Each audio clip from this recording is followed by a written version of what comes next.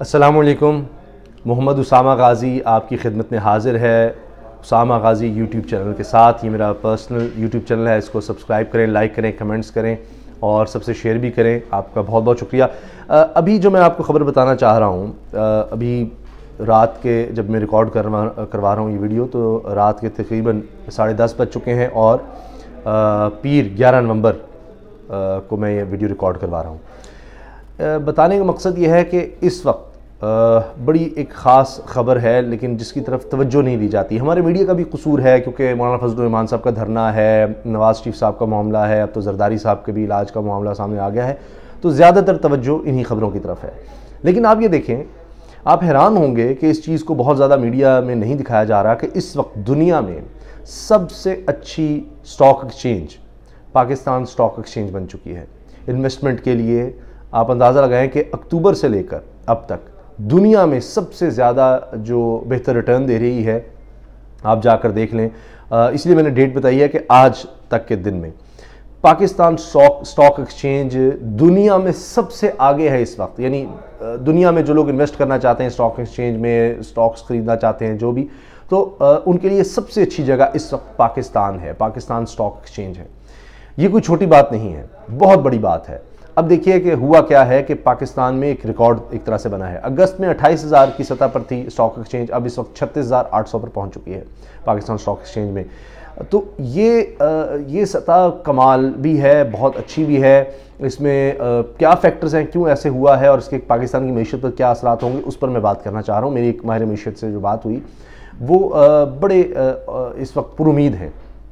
ایک تو جو فیکٹرز ہیں اس میں، پہلے تو میں نے آپ کو بتا دیا کہ اس وقت پاکستان دنیا میں نمبر ون آ چکا ہے۔ اگر ابھی حالیہ سٹاک ایکسچینج کے ہم انڈیکس کو دیکھیں ریٹرنز کو دیکھیں، اس کی وجوہات پر آ جاتے ہیں۔ ایک تو یہ کہ آئی ایم ایف کا مشن آیا چند دن پہلے ہی، اور وہ انہوں نے اطمینان کا اظہار کیا کہ پاکستان کا پروگرام بہت اچھا جا رہا ہے۔ اور بہتر پرفارم کر رہا ہے۔ اب آئی ایم ایف نے دیکھنا ہوتا ہے کہ جناب کیا یہ اکانومی بہتری کی طرف جا رہی ہے کہ ہم اس کو مزید پیسے دیں اور یہ ہمیں واپس کر سکیں گے۔ انہوں نے ہمیں شرائط پوری کی ہیں تو جناب وہ بالکل اطمینان سے گئے ہیں۔ چار سو پچاس ملین ڈالر اب آئندہ ایک دو روز میں شاید آ جائیں گے، چند روز میں آئی ایم ایف کی طرف سے۔ تو یہ پینتالیس کروڑ ڈالر جب آئیں گے تو اس سے کیا ہوگا کہ پاکستان کے ریزروز اور زیادہ بڑھ جائیں گے۔ تو اسٹیٹ بینک نے بھی ابھی اور زیادہ ڈالر بھی خریدے ہیں۔ ابھی حالیہ دنوں میں جو خبر میں چل گئی تھیں چار سو ساڑھے چار سو ملین ڈالر جو اچانک سے اضافہ ہوا اسٹیٹ بینک کے ذخائر میں۔ تو یہ کہا گیا کہ جی باہر سے کوئی پیسے آ گئے ہیں، پتہ نہیں کوئی نواز شریف صاحب کی وجہ سے یا کس طرح سے۔ تو اصل میں وہ زیادہ فیکٹر یہ ہے کہ مارکیٹ سے یعنی جو پرائیویٹ مارکیٹ ہے، اس سے اسٹیٹ بینک نے ڈالرز خریدے۔ وہ سمجھا کہ ڈالر اتنا نیچے جا رہا ہے کہ اس وقت ہمیں ڈالر خرید لینا چاہیے۔ اس سے پھر آپ دیکھیں کہ اسٹیٹ بینک کے پاس ڈالرز اور زیادہ ہو گئے۔ ابھی آئی ایم ایف کی طرف سے آ جائیں گے۔ اب اس کے بعد ہوگا کیا؟ اس کے بعد آپ دیکھیں گے ڈالر کی قدر کچھ اور زیادہ کم ہو جائے گی اور روپے کی قدر بہتر ہو جائے گی۔ آئی ایم ایف کے طرف سے ڈالر آنے سے۔ اور اس کے اثرات مہنگائی کی کمی پر بھی پڑیں گے۔ جی ہاں جب ڈالر سستا ہوگا تو جو چیزیں ہم باہر سے خرید رہے ہیں ان کی خریداری پر بھی فرق پڑے گا۔ وہ نسبتاً کچھ سستی ہو جائیں گی یا کم مہنگی ہو جائیں گی کہہ لیجیے۔ تو اس سے بھی مہنگائی میں فرق پڑے گا۔ ایک تو ایک پازیٹیو ڈیولپمنٹ یہ بھی ہے۔ پھر فورن انویسٹمنٹ آ رہی ہے۔ ٹریری بلز میں انویسٹمنٹ آئی ہے، جو مجھے بتایا گیا ہے، وہ تقریباً دو سو پینتیس ملین ڈالر آئے ہیں جناب نومبر میں۔ اس کے علاوہ فورن انویسٹمنٹ پانچ ملین ڈالر کی انویسٹمنٹ سٹاک ایکسچینج میں آئی ہے۔ تو یہ سب بڑے ہیلدی انڈیکیٹرز ہیں۔ بڑی زبردست چیزیں یہ ہو رہی ہیں، بہت اچھا یہ ہو رہا ہے۔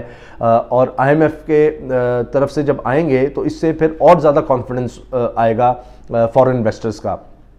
پھر اس سے ایک اور چیز یہ ہونے والی ہے آئندہ چند دنوں میں یا آئندہ چند ہفتوں میں۔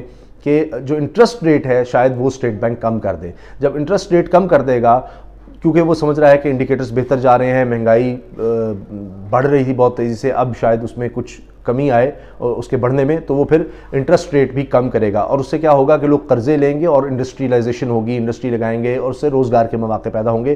تو اس طرح سے مہنگائی میں کمی کے انڈیکیٹرز ہیں، اشارے مل رہے ہیں اور روزگار میں بھی اضافہ ہو سکتا ہے آنے والے دنوں میں۔ کچھ، یہ نہیں ہے کہ ایک دم اچانک سب کچھ بدل جائے گا، لیکن اس میں بہتری آئے گی۔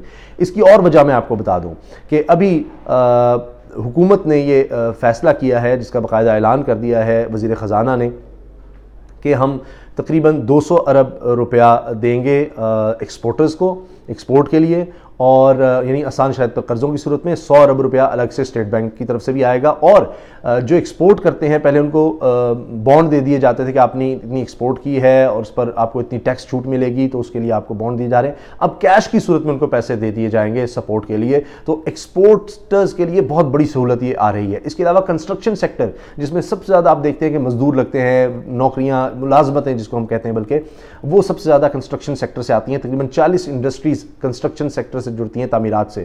تو وہاں پر بھی حکومت نے فیصلہ کیا ہے کہ جو کنسٹرکشن سے وابستہ لوگ ہیں، ان کو ٹیکس میں بہت زیادہ چھوٹ دی جائے گی اور کچھ سپورٹ بھی دی جا رہی ہے تیس ارب روپے کی سبسڈی کی صورت میں۔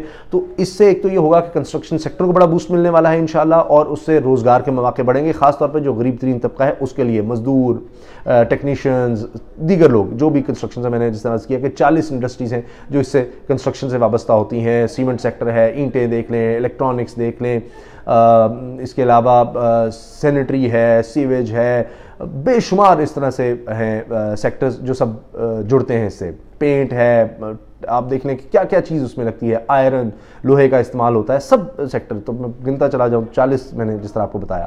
تو یہ سب بڑے ہیلدی انڈیکیٹرز ہیں جس پر میڈیا بالکل توجہ نہیں دے رہا کیونکہ میڈیا لگا ہوا ہے اپنے ہی الگ جھل پپو میں۔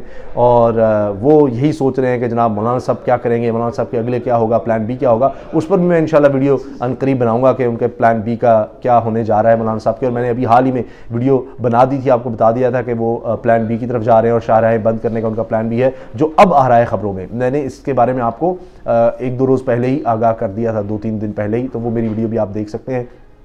تو دیکھیے کہ اب اس میں کیا ہوتا ہے، اس پر میں الگ سے بناؤں گا، لیکن یہ خوشخبریاں تھیں، یہ بڑی خبریں تھیں جس کو اگنور کیا جا رہا ہے، نہیں کرنا چاہیے۔ اسے پاکستان کا دیکھیے امیج کس طرح کا باہر جا رہا ہے اور انویسٹمنٹ آنے کے مواقع ہیں، جس سے کچھ جو اس وقت معاشی مشکلات ہیں، ان میں یقیناً کافی حد تک کچھ کمی ضرور آ سکتی ہے جس طرح میں نے اسٹاک ایکسچینج کا کہا۔ اگرچہ یہ بات ہے کہ اسٹاک ایکسچینج میں اوپر جانے سے یا اتنی زیادہ انویسٹمنٹ آنے سے عام آدمی کی زندگی میں کیا فرق پڑے گا؟ دیکھیے، یہ انڈیکیٹرز ہوتے ہیں۔ اس سے ایک امپیکٹ پڑتا ہے کانفیڈنس زیادہ ہوتا ہے اور پھر ظاہر آہستہ آہستہ ایک عام آدمی کی زندگی میں بھی اس کا فرق آنے لگ جاتا ہے۔ اللہ حافظ۔